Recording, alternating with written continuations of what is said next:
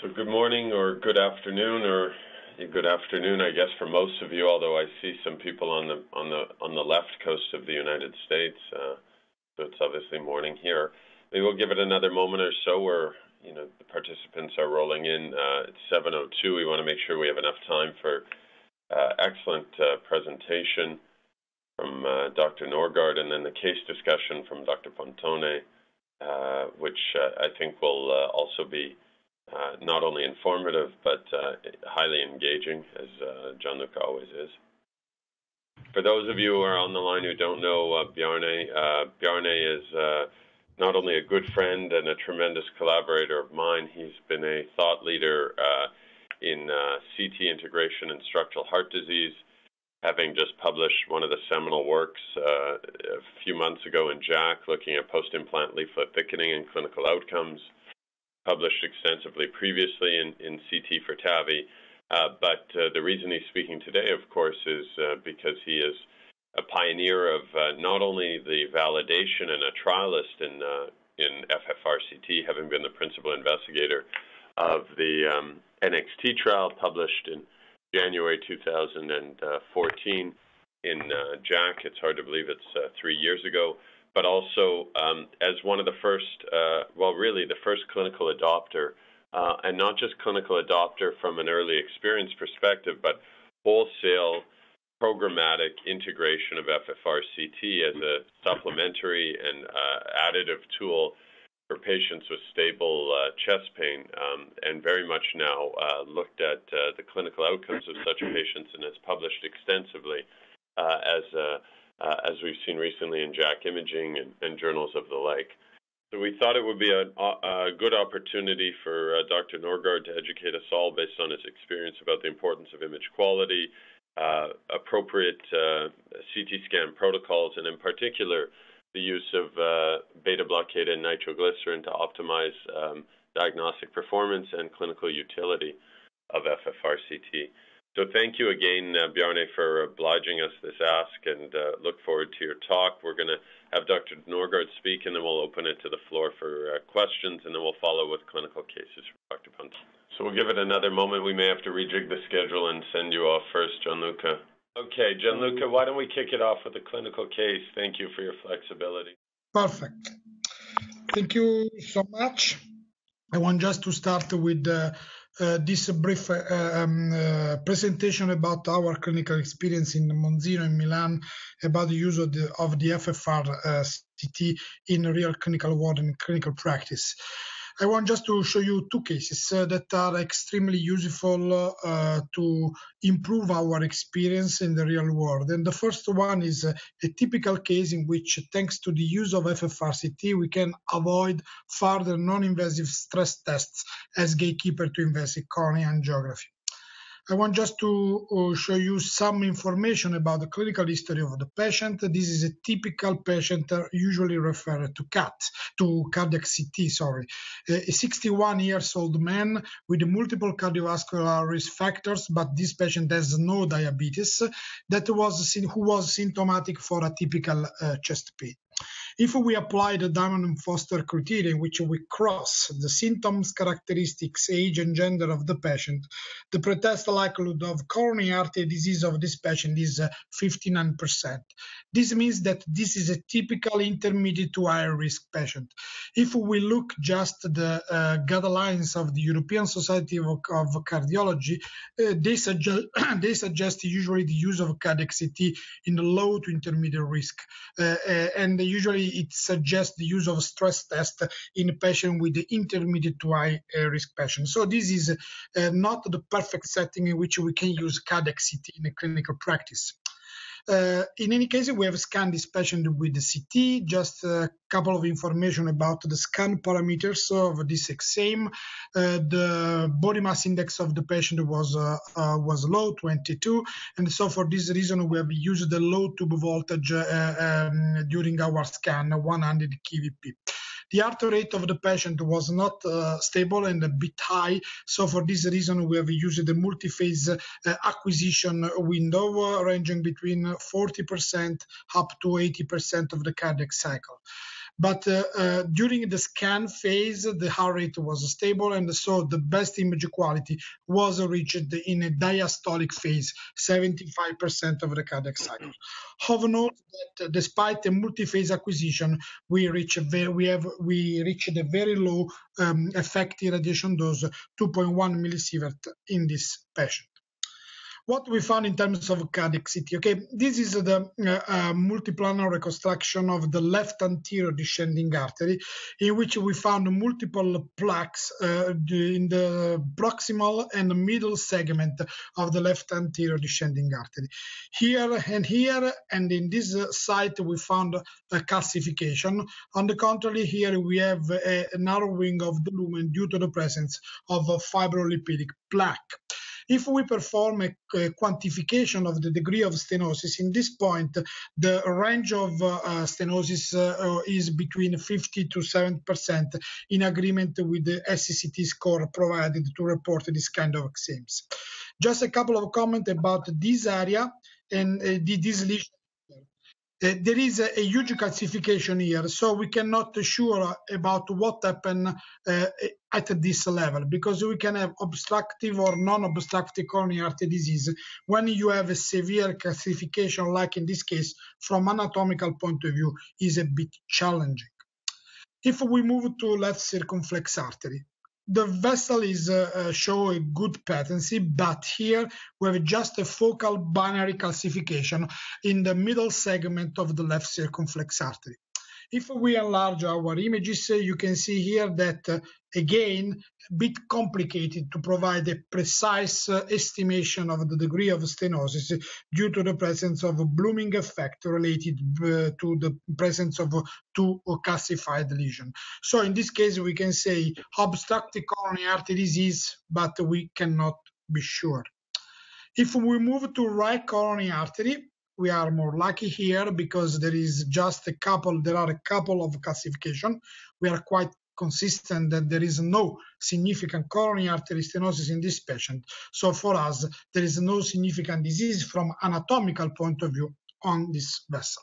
Okay, so now we have a moderate, uh, more moderate stenosis of the LAD uh, we have an undetermined coronary artery disease on left circumflex artery and no obstructive coronary artery disease on right coronary, right uh, in the real clinical world, when we have this kind of patient symptomatic for chest pain, we have two different scenarios. A more aggressive scenario that means to refer the patient based on this on these CT findings to CAT uh, to perform eventually an invasive FFR in case that lesion on LAD is confirmed, or we can refer to a patient to a stress test as gatekeeper to CAT. In this case, usually a second level stress test is highly suggested based on the local expertise. So uh, uh, a stress echo can be suggested or as alternative SPECT or stress MR. But uh, in this specific case, as you can imagine, we have the FFRCT in the same dataset. Now we can analyze the value for each vessel. This is left main artery and left anterior descending artery. In this region where we have found the anatomical disease is followed by a, a reduction, a significant reduction of the FFRCT because uh, we observed already in this area a value of 0.71 and the lowest value was reached at the apical segment of LAD that was 0.66. If we move to the left circumflex artery, do not forget that we have the a binary calcified lesion on um, left circumflex artery uh, that was very difficult to estimate in terms of degree of stenosis. But in this case, the FFRCT help us to take a decision on that vessel because there is no pathologic fractional flow reserve. It started with a value in the proximal segment of 0.95 and the lowest value was uh, reached at the apical uh, segment, more distal segment, but it was a normal 0.87. No doubt about the right coronary artery because uh, it was normal from anatomical point of view and it was normal from functional point of view as well because again uh, uh, we have a 0.96 in the proximal segment of right coronary artery and the value is still normal also in the more distal point of the right coronary artery. Okay, uh, based on this evidence, we have a lesion, obstructive uh, coronary artery lesion associated with an uh, FFRCT. Uh, this is enough uh, from our perspective to decide to refer the patient in this specific case to CAT to confirm this lesion and eventually to be treated. For research aim, in this case, in this patient, we have also perfusion study uh, with the CT, and this is very useful just to reasoning to to to discuss about the uh, comparison between FFRCT and CTP. This is the perfusion at rest that was completely normal, and this is the perfusion at stress that was positive in the septum and in the anterior wall, as you can see, but it was positive in the lateral wall as well, as well, a huge perfusion defect in the lateral wall. So it seems that there is a disagreement between perfusion study and um, FFRCT analysis the patient was referred to CAT. This is uh, the invasive cholangiography of the, of the left uh, coronary artery. As you can see, find the lesion on left circumflex artery and the lesion here on the left anterior descending artery, exactly in the same point that was detected by cardiac computed tomography. But when we this is the right coronary artery on the other side that is absolutely normal. We performed the FFR, invasive FFR for research aim in this case in all vessels. And what we found, we found that the only pathologic value of FFR was reached in the left anterior descending artery and the lowest value found was 0.67. So uh, if we want just to summarize by using the CADS RADS classification provided by the Society of Cardiovascular Computed Tomography, based on anatomical uh, evaluation, I mean CT, we have uh, the highest level of the disease and intermediate stenosis of LAD. In this case, usually functional assessment is highly suggested. But we have already a functional assessment in the same dataset that is FFRCT that was pathologic, and this suggests to refer the patient to CAT with potential uh, indication for PCI on uh, PC revascularization on LAD. In this case, stress CTP is a little bit in disagreement because it confirms what we found on LAD territory, but there is a positive perfusion defect in the lateral wall of the left ventricle. But when we refer the patient to CAT, uh, the CAT showed from anatomical point of view one vessel disease, and when we apply invasive FFR, the invasive FFR confirmed the one vessel disease, as showed by the integration of the information by CT and uh, FFRCT. So the final message of this uh, uh, case is that uh, FFRCT is a very useful tool to detect the relevance of a coronary artery disease, but as compared to other approach, for example, stress CTP, provide a per lesion evaluation rather than a per territory evaluation. And this is a potential typical case of a false positive perfusion defect with CT in the lateral wall that, as you, as you know, is uh, suffer for beam hardening artifact, and that is the typical location in which we can have uh, false positive cases. Maybe we could just open it uh, quickly to questions. I mean, that's a fascinating case, okay. Gianluca. Um, okay. I think okay. it it highlights one of the advantages of um, really of pinpointing uh, ischemia, obviously with FFRCT. Even we talk about a one-stop shop with CTP and, and anatomy, but uh, it can be obviously a very powerful test, but it's still obviously limited uh, by a whole different set of uh, image artifacts, as well as uh, the fact that ultimately it's it's hard to discriminate where the where the increased resistance of flow is actually going, right? Whereas FFRCT, what we found, and maybe you can comment, is that you can not only get a get a calculation of pressure proximal and distal to the stenosis, but then in the distal vessel as well to understand the overall pressure loss across the entire territory. I don't know.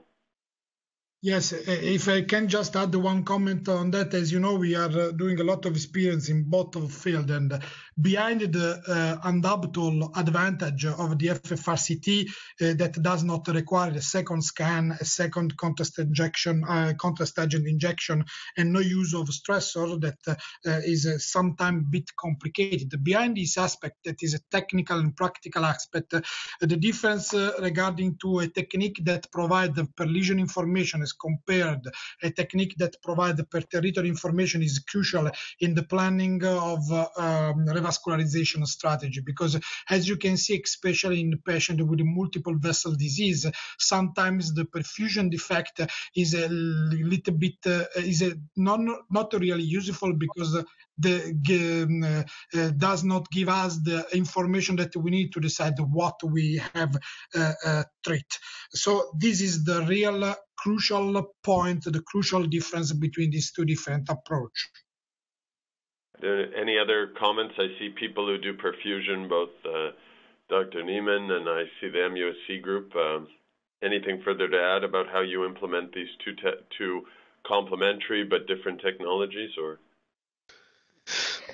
No, it is it is interesting to uh, to see the uh, the comparative results. Uh, yeah, we, we um, this is Koen Nieman. Um, so we tried this as well.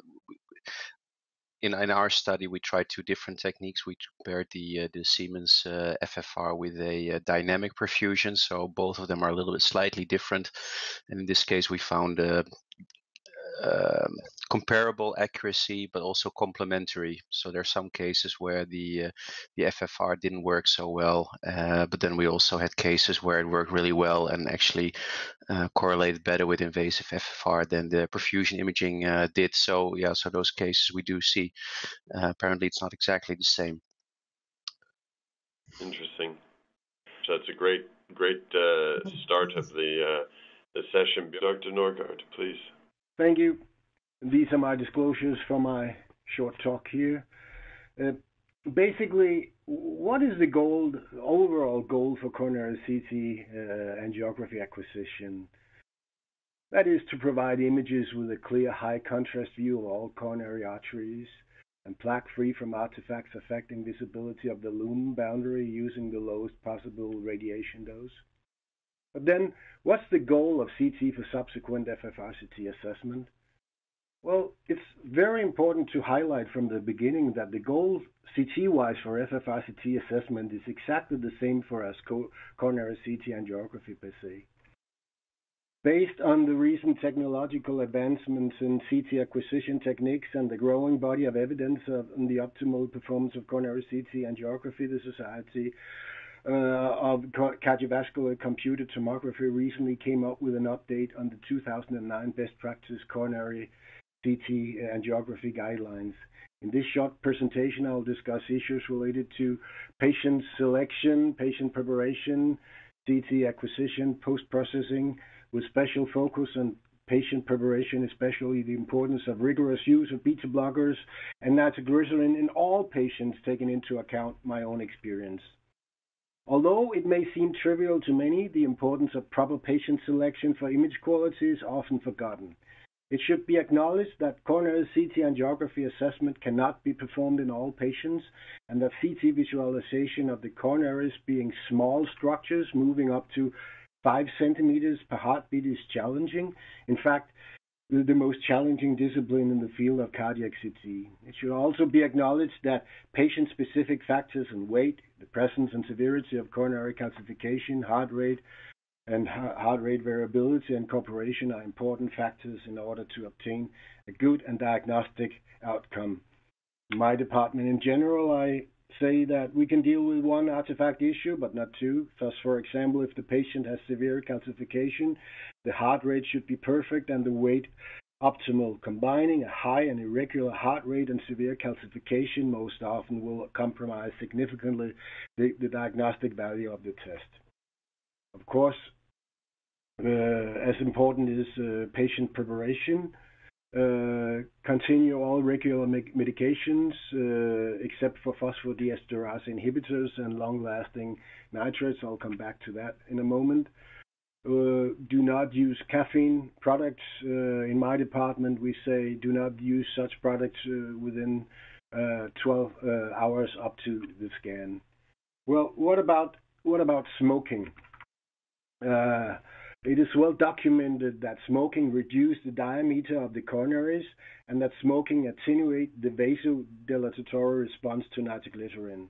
In our department, patients are not allowed to smoke two hours before coronary CT uh, angiography. You, uh, I will not go into details about education, coaching, and preparing the patients, of course, are essential still in coronary CT angiography. Efforts on minimizing patients' anxiety should be taken. Practice breath hold. Ensure breath hold time will be sufficient for scan time. Evaluate impact on breath holds on heart rate. A good ECG signal and sufficient IV cannulation should be secured. I'll spend some time on the importance of good heart rate control and image quality, and in order to reduce the uh, uh, radiation dose.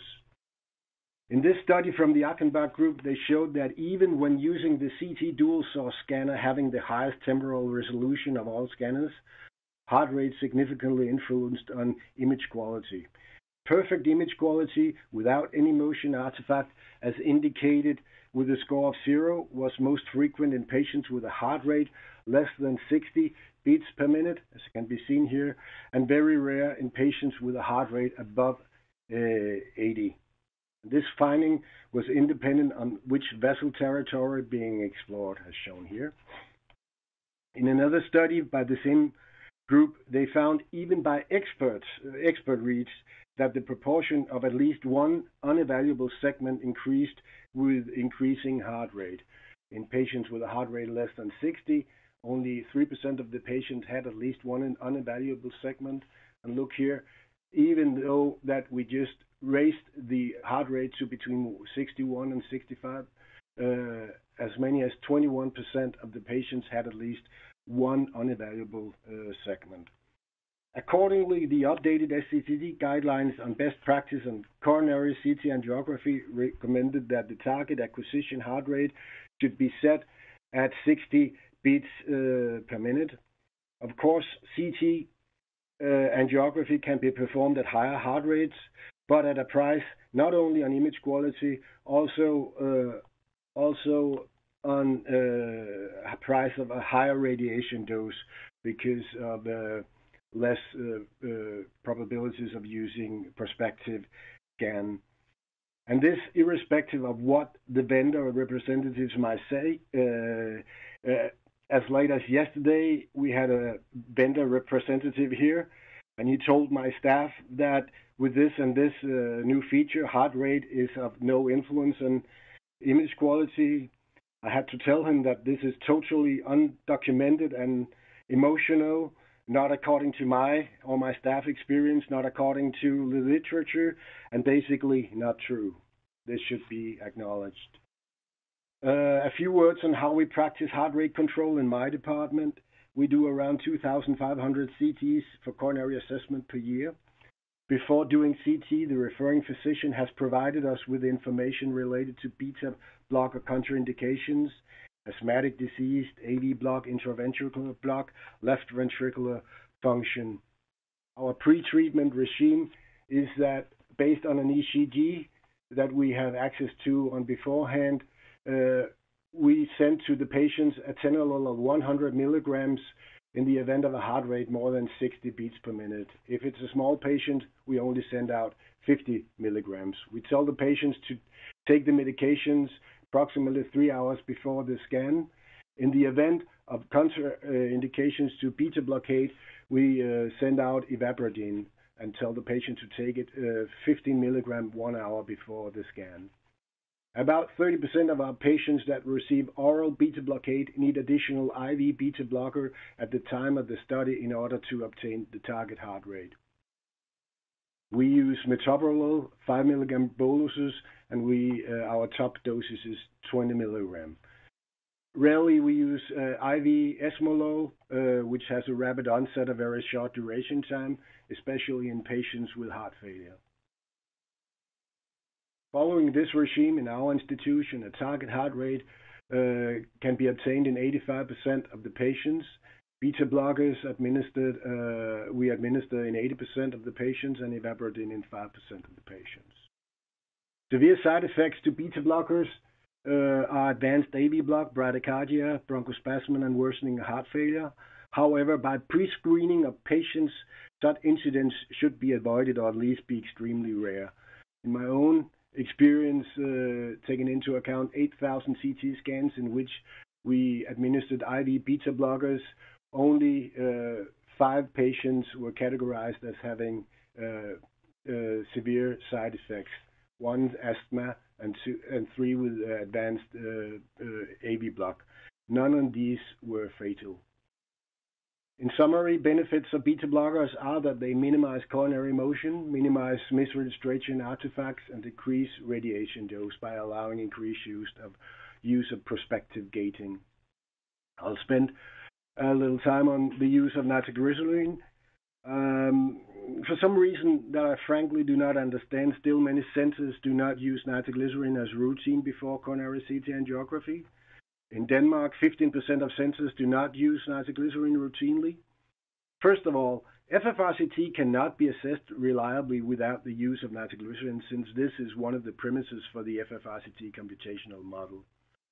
Also, uh, nitroglycerin has a significant influence of, on vessel interpretability that I will come back to in a moment, and it may attenuate the potential coronary vasoconstriction induced by beta blockers. In this rather small but quite elegant study by Decramer and colleagues, patients were randomized to no or to sublingual nitroglycerin before 64 multislice CT angiography. Patients were matched on age, sex, BMI, and calcium score.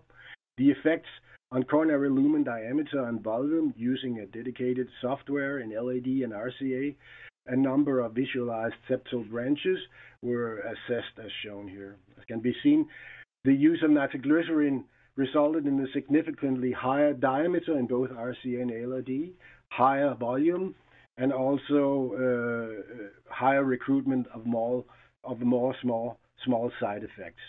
Of note, in this study, there were no difference between groups regarding side effects and blood pressure and heart rate. The effect of sublingual nitroglycerin before CT on CT diagnostic performance has been tested in several studies.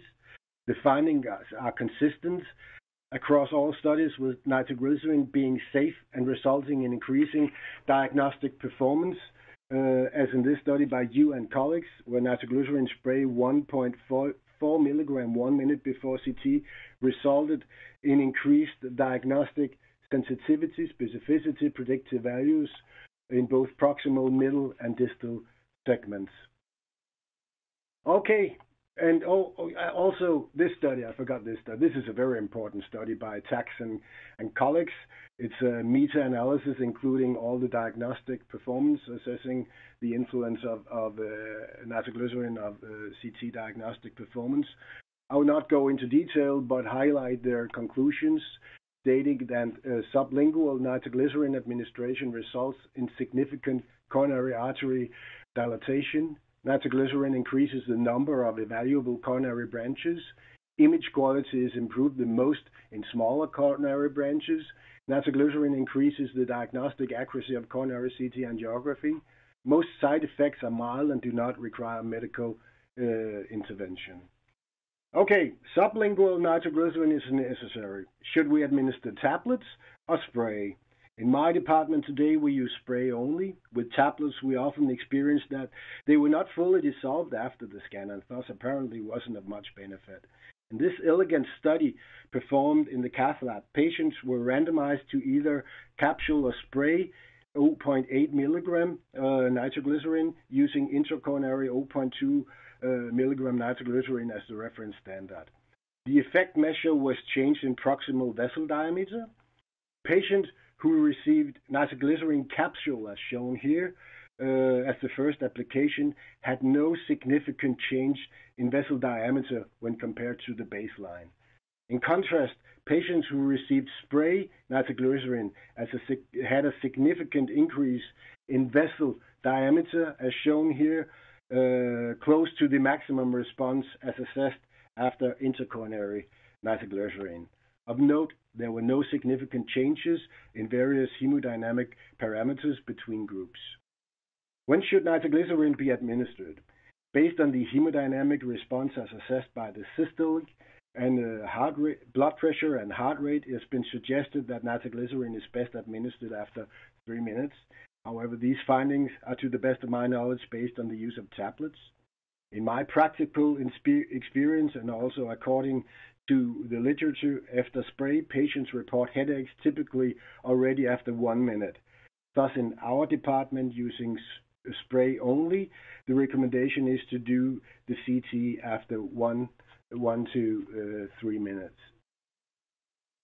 In my experience, the uh, often discussed reflex tachycardia potentially induced by nitroglycerin is of no practical importance. However, this may be due to the fact that most patients in this department are pre-treated with beta blockers.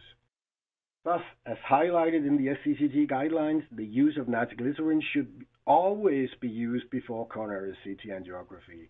In my point of view, a coronary CT angiography without the use of nitroglycerin is not a real coronary CT uh, angiography. In my department, all patients receive pre-scan nitroglycerin 0.8 milligrams before the scan. If for some reason uh, more than three minutes occur uh, up to the scan, we give additional spray 0.4 milligram. Sublingual nitroglycerin is safe, and most often the side effects such as headache are, transient. In my department, uh, the only absolute contraindication to nitroglycerin is the use of uh, phosphodiesterase inhibitors such as sildenafil for the treatment of uh, erectile dysfunction or pulmonary hypertension or long-lasting uh, nitrates. If the patient in my department do not, for some reason, want nitroglycerin, we don't do the scan and refer the patient instead to some other kind of testing. In my department, only about one third of the patients report that they have side effects. We spent some time on information before the scan about nitroglycerin side effects, uh, uh, so they are prepared for this maybe slight dizziness and, headache. We tell them that it's a good thing to have a headache because uh, it, tells us that the, medication actually works and that we will get the best diagnostic uh, result. In summary, use nitroglycerin during CT acquisition, preferably uh, one to three minutes uh, prior to image acquisition. Inform patients about side effects, especially headache, so they are prepared. Use two sprays, 0.8 milligram. Use a beta blocker may avoid reflex tachycardia. Ask patients not to take any nitrates 12 to 14 hours prior to CT acquisition. Do not smoke right before the CT scan. With regard to coronary CT angiography acquisition, following our rigorous regime on selecting the right patients, use of heart rate control and nitroglycerin in all patients. In this department, prospective uh, uh, ECG gated acquisition is performed in more than 95% of the patients, resulting in a mean radiation dose, including the CAL score assessment of 2.4 uh, millisievert. With rigorous selection of patients and planning of the scanning, uh, the, the scanning retrospective scanning uh, being associated with a high radiation dose can be avoided in most patients. Again, what's good for coronary CT angiography is good for FFRCT. A few words on post-processing techniques in relation to FFRCT. Today, with the new platform for FFRCT uh, assessment, uh, it can be performed with both diastole and systole uh, phases. We typically upload a couple of phases, so HeartFlow has something to work with. With regard to iteration, iterative reconstructions, this is okay as long as the lumen and plaques can be visualized. As for CT, FFRCT involves precise measurements made on vessels. As for CT, artifacts may impact uh, FFRCT. FFRCT is based on a detailed 3D model of the coronary tree and the myocardium. Smaller vessels are important. With regard to field of view, it is important to include the, the total myocardial mass, so, so be aware uh, not to, uh, uh, to include also the inferior wall that we sometimes uh, tend to forget. In the event of a high calcific burden, use as little field of view as possible. Shortly on uh, uh, FFRCT artifacts, uh, these are from these data are from the NXT trial. The top three artifacts leading to um, image quality being inadequate for FFRCT analysis were misregistration, blooming, and noise. Again, avoid artifacts by proper selection of patients. Beta blockers also take into account uh, that you may be able to optimize MA and KV, and uh, there may also be issues on contrast. There are no time to go into detail on that. Today in our center, we have used FFRCT in our routine practice for almost uh, three years now. Um, we have recently, for this center, published our first real-world data showing feasibility of this method. It is often stated uh, that FFRCT assessment is not possible in a large proportion of patients. We can show by sticking to the guidelines, SSCTD guidelines of best CT practice, uh, especially regarding rigorous heart rate control and the use of nitroglycerin in all patients, that we receive a conclusive uh, FFRCT result in more than 90% of the patients, which is in fact a higher proportion of conclusive conclusive results when we compare to the time when we used nuclear testing, at least in this department. Well, I have to stop now. Uh, these are my final comments. FFRCT is derived from precise modeling of the coronary tree, just not just areas of disease. Uh, coronary CT angiography best practice equal best practice for FFRCT. Scan optimization is essential in unlocking the potential not only for FFRCT, also for coronary CT angiography. Best practice coronary CT angiography is uh, achieved by incorporating practice from the 2009 and 2016 SCCT guidelines on how to perform CT angiography.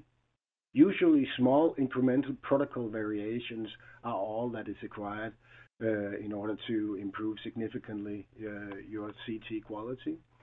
Vasodilatation with sublingual nitrous is essential both for CT and for FFRCT assessment. And the, it is important that uh, the physicians and uh, uh, staff doing a coronary CT are comfortable with the use of beta blockers, both orally and intravenous. Thank you for your attention. Thank you so much, Bjorn. That was a great overview, uh, really highlighting uh, the importance of uh, best practice for cardiac CT, which is clearly best practice for FFRCT. Appreciate you taking the time. I open it to the floor for any questions or comments. Are most sites using um, a metered spray for administration of, of nitroglycerin? And if so, are they using one or two puffs or? Yeah, this is Koen. Uh, yeah, we usually use two puffs. Uh, often find that the first puff is uh, only half a puff, so uh, I use two, maybe three puffs every now and then. We did run into some problems where we had one patient, I think, probably with somebody with aortic uh, stenosis, and uh, didn't do so well. So then for a while, the, the the the technicians couldn't deliver it anymore and had to be a doctor. I don't know whether other sites have that problem, whether technicians are allowed to give the spray or it has to be a physician. It's something that we ran into. This is an important point. We're actually going through what we call a transfer of function, where um, where technologists will be able to do this, uh, because historically we've had actually patients administering, and if they're naive to using it, they don't deliver it very well. So it's a good point. Well, well, in, in yes, uh, my department, CT is performed by by the, the cardiology staff. So the staff are they have a, a, long tradition giving these drugs, both both intravenous beta blockers and nitroglycerin. So, so here in Aarhus, all uh, preparation of the patients are performed by dedicated nurses. Uh, no doctors are involved in this. If if this is Gianluca, if I can add just one comment, we use uh, um, nitroglycerin as well uh, before the acquisition, but it's very important to explain the uh, that the administration of nitrates is is accurate, is well done, because otherwise the effect of the nitrates is not maximal. For example, in our experience, in which we have in the same patient uh, the acquisition with the nitrates, uh, I mean the rest CT dataset, and then the acquisition under adenosine effect, the, some sometimes the effect in terms of vasodilatation is absolutely different between these two uh, settings. And in a lot of cases, because uh, the uh, approach of the nurse or is not uh, so perfect in terms of uh, administration of nitrates. So it's very important to be sure that the drug is in the mouth and uh, it reach the target area. Yes, I, I, couldn't agree more, and, and, I don't know who should address this, but I think for people on the phone, I, uh, I think you drove home the point so well, Bjarne, about the value of nitroglycerin not only for coronary stenosis evaluation, which I think is really established, but um, also how important it is for not just modeling of FFRCT, but the reality is best practice uh, invasive FFR relies on it. So to simulate similar conditions as to the invasively uh, measured FFR, it's really essential that um, nitroglycerin is administered. And, and uh, you made a comment which really resonated with me. You said if, if the patient is unwilling or cannot take nitroglycerin, you refer them to another test. You simply don't proceed because you know it, the yield is going to be uh, significantly reduced, which is, I think, a really important message. Hi, it's Lynn from Duke. Can I ask a question? Of course. So um, I completely agree with everything that was said, and I just I have a question for those on the call. We've sort of run into times sometimes where we have to make a choice about beta blockers versus nitro when patients are coming in with a relatively low blood pressure or having to change how much beta blockers so we can make sure we can give nitro. And I just want to know are others facing this situation and how do they handle it? Well, my experience is that well, it depends on the cause of the low blood pressure, but uh, in fact, if you give uh, two puffs of nitroglycerin in the patient with a blood pressure, in a stable patient with no uh, acute coronary event, blood pressure systole on 100, for instance, it, doesn't really affect the blood pressure in these patients. That's my experience. So as long as the patient is stable, I'm not worried about the blood pressure. Uh, and, and, the same goes for, for IV beta blockade. Again, stable patients. Uh, this is Koen. Unless the patient is decompensated, and probably ivabradine doesn't have as much effect on blood pressure either. So that could be an option as well.